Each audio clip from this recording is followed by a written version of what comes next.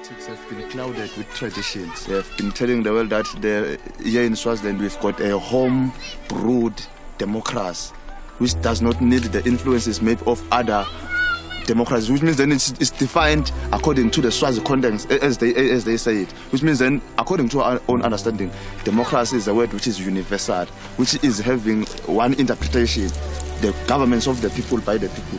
Nations are like babies, they don't just stand up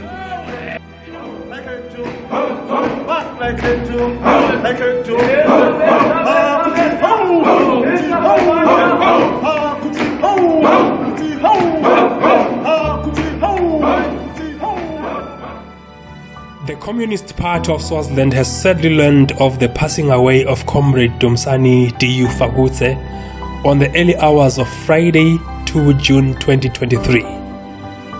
The Communist Party of Swaziland conveys its message of heartfelt condolences to Comrade Dumsani's family, the working class, as well as the mass democratic movement which he served diligently till he breathed his last.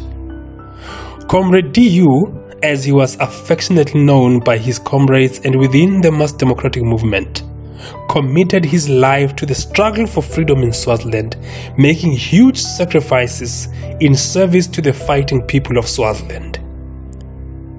On 20 December 2019, as he was leaving his home in Manzini to attend the Zimbabwean Communist Party's National Congress, Mswati's police invaded his home and detained him along with a number of leaders of the progressive movement.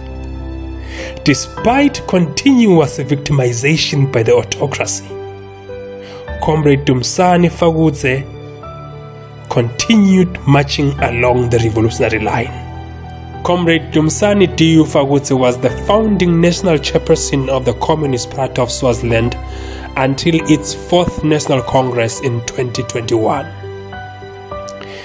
In paying tribute to, to Comrade Dumsani Fakudze, the Communist Party of Swaziland calls for maximum unity of the working class to boycott, to disrupt, and to stop Mswati's sham elections.